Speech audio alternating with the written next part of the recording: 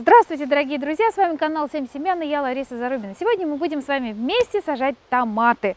Пришло время высаживать томаты в открытый грунт.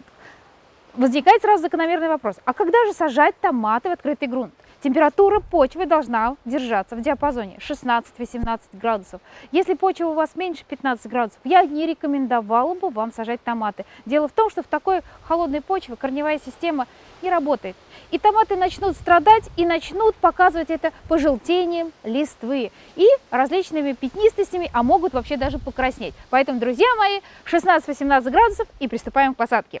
Итак, но прежде чем высаживать, мы должны сделать несколько мероприятий. Первое мероприятие. За 10 дней до посадки томатов мы их проливаем монокалиефосфатом. Это удобрение фосфорно-калийные, которое способствует разрастанию, наращиванию хорошо, хорошей корневой системы. Для томатов это важно очень. Да, в принципе, даже и для любых овощей, будь то перцы или баклажаны. Монокалиефосфат за 10 дней. 7, 5-7 грамм на 10 литров воды. И проливаем. Это за 10 дней. Накануне дня посадки, то есть буквально за 3-4 дня, можно за 5 дней, то есть смотрите по времени вашему, берем томат в руки, у меня вот низкорослый томат, гном пурпурное сердце. Что я делаю? Обрезаю все листочки, которые будут касаться земли. Но обрезайте, пожалуйста, их заранее. Почему вот я говорю, что заранее это нужно сделать процедуру? Дело в том, что вот эта, вот эта рамка должна обязательно просохнуть. Поэтому нельзя делать эту обрезку накануне в день высадки. Заранее режем, монокалием фосфатов мы полили. И теперь фактически за день обрезали томаты и за, в этот же день, можно на следующий день, смотрите по времени, обязательно обработайте томаты по листу эпином. Это антистрессовый препарат. Можно вместо эпина взять циркон, но эпин лучше в данной ситуации работает. Можно вместо этого взять янтарную кислоту, пролить почву. Это все антистрессовые препараты, которые помогут томатам впрочем, как и всем любым другим овощам, пережить стрессовую ситуацию. А любая пересадка – это стрессовая ситуация. Все, томаты мы подготовили. И, друзья мои, на дачу их, на дачу ставим и приучаем их к солнцу к солнцу и к свежему воздуху. Будем их постепенно приучать к открытому грунту. В идеале, конечно, лучше эту процедуру сделать за две недели. Ну, если вы человек рабочий, вам, конечно, некогда эти танцы с бубном делать, поэтому у нас всегда получается все это стихийно. Сегодня привезли и сегодня же сажаем. Ну что ж, такая ситуация тоже допустима, но тогда есть некоторые секреты, которые вы обязательно должны учесть. Итак, ну уж цирконом, пожалуйста, полейте и листья заранее обрежьте, если вы уже все-таки решили все в один день сделать. Хотя бы эту процедуру сделайте заранее. Итак, приступаем теперь к самому моменту посадки. Помните, друзья мои, что на одно и то же место томаты нежелательно сажать. Но если у вас нет такой возможности менять каждый год э, площадь и менять грядки, тогда сидираты, сидираты, сидираты. И перед посадкой томатов обязательно пролейте за несколько дней почву или фитоспорином, или трихоцином, если у вас особенно э, в прошлом году были болячки. Эту процедуру не сбрасывайте со счетов, сделайте обязательно. Итак, наступил долгожданный миг посадки. Что мы должны сделать, друзья мои? Конечно, выкопать лунку. Насколько глубоко копать? На штык лопаты. Штык лопаты – это оптимальное решение. Но смотрите, я специально здесь вам приготовила разные томаты. А, это низкорослые томаты, а вот это высокорослый томат. Естественно, в домашних условиях томаты всегда вытягиваются. Это неизбежный процесс, и как бы мы не спасали, не старались, результат у нас все равно один и тот же каждый год. Томаты вытягиваются. Ну, в принципе, я не, хочу сказать, что не больно-то сильно он вытянулся. Ну, есть, конечно, потянутость, но незначительная. Поэтому я его буду сажать вот с заглублением, вот так. Если у вас сильно вытянутые томаты, тогда кладем их в канавку лежа, укладываем на бачок, а макушку поднимаем. Это для сильно переросших томатов. Самый главный момент, друзья мои, если у вас переросший, тогда роем канавку. Если у вас размер позволяет нормально, то есть вот если штык лопаты, то у меня получится где-то вот так. Вот так. То есть, в принципе, меня все устраивает. Поэтому я буду рыть на штык лопаты, мне этого достаточно. Друзья мои, лунку я выкопала. Теперь обязательный тест. Рука. Руку опустите на дно ямы. Если вам холодно руке, вы чувствуете, что холодная земля, тогда еще она не готова к тому, как говорится, как принять томаты. Если все-таки это неизбежный процесс, вы должны высадить, ну тоже такая ситуация бывает, тогда я рекомендую вам пролить лунки горячей водой, но не кипяток. Пусть температура воды будет градусов 60. Для подземных жителей и, скажем так, и полезных бактерий вреда это не несет. Когда вода соприкасается с почвой, она, естественно, уже становится не той температуры, а становится более прохладной. Поэтому никакого вреда она не нанесет. Не беспокойтесь. Это будет очень важно. Если мы посадим томаты в холодную лунку, корневая система туда вглубь не пойдет. А нам нужно, чтобы корневая система шла вниз, а не вверх. Поэтому если там холодно, томат не пойдет туда. Поэтому проливаем теплой водой. Дальше что мы должны сделать? Это тоже обязательно. А, каждый год у нас, я сажаю томаты по-разному, экспериментирую, ищу какое-то самое оптимальное решение. А, и каждый год у меня получается, конечно же, разные результаты, разные, разные выводы. В этом году я буду сажать а, при посадке, буду добавлять одну столовую ложку мела. Дело в том, что томаты, столовая ложка без верха. Дело в том, что томаты принципе, как и все овощные культуры, не выносят кислый состав почвы. Поэтому, если у вас почва кислая, заранее сделайте эту процедуру. У меня почва не кислая, но на всякий случай, потому что буду применять различные удобрения, поэтому я сюда добавляю мел, для того, чтобы э, кислотность в зоне корней не повышалась. Добавляю мел, добавляю или хорошо перепревший навоз, или компост, или же биогумус. Сейчас я добавлю, вот в эту лунку добавлю хорошо перепревший конский навоз. Две столовые ложки, это более чем достаточно. И столовую ложку золы добавлю. Можно 2 столовые ложки золы. Если у вас ее много, добавляйте 2 столовые ложки. Все, это я все хорошо перемешиваю.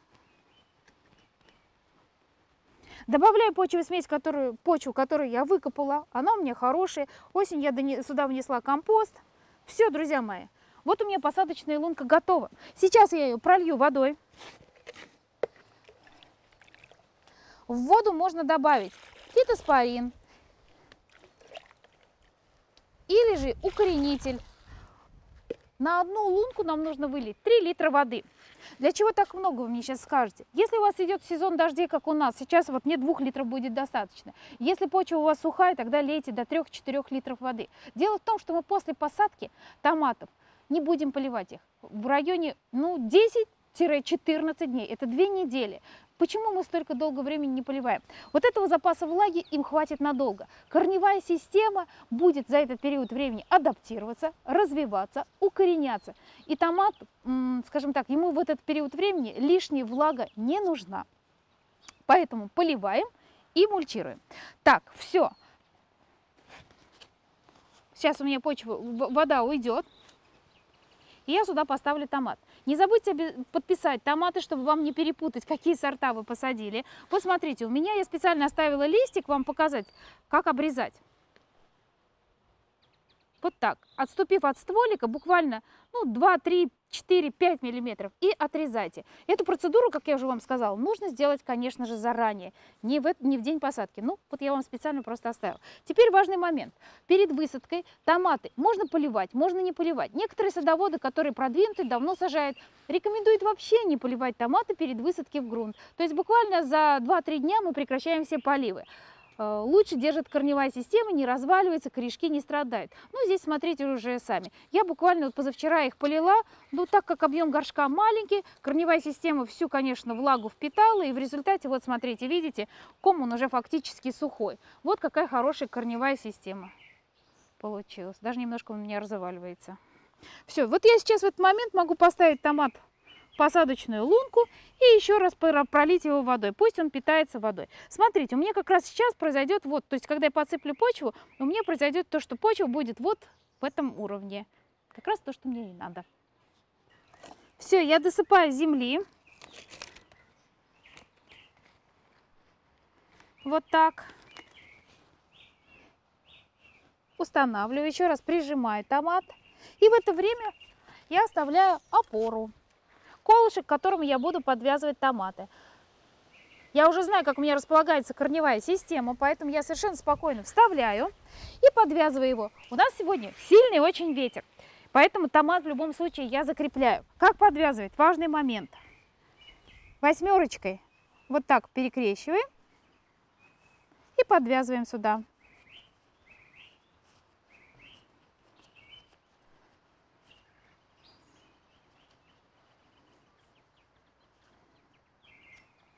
Все, посадка у меня завершена. Не забудьте подписать сорт, еще раз все замульчировать, еще раз пролить, если у вас очень сухо.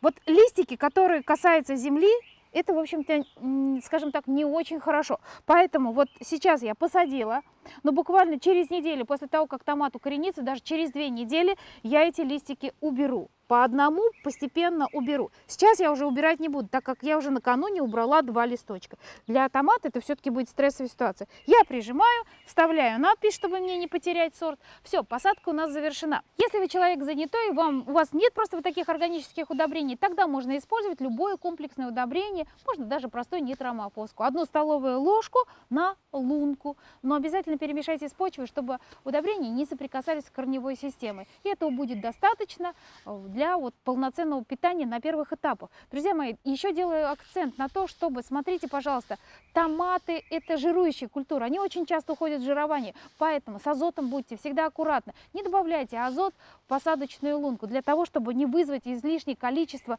роста вот этого зеленой-зеленой массы и отсутствие плодов. Вот именно азот вот этому грешит, то есть если мы сейчас внесем много азота, будет красивый томат с зелеными изумрудными листьями, сильный, вот с таким стволом, но с отсутствием плодов. А нам же плоды нужны, поэтому с азотом не увлекайтесь. Азот будем дозированно вносить по мере требований томата во время рассадного периода. То есть, когда он будет расти, мы увидим, что ему не хватает и, соответственно, добавим. Причем будем добавлять даже, скорее всего, по листу. Это более эффективно и быстрее быстрая подкормка. Ну и под корень, конечно же, тоже будем добавлять.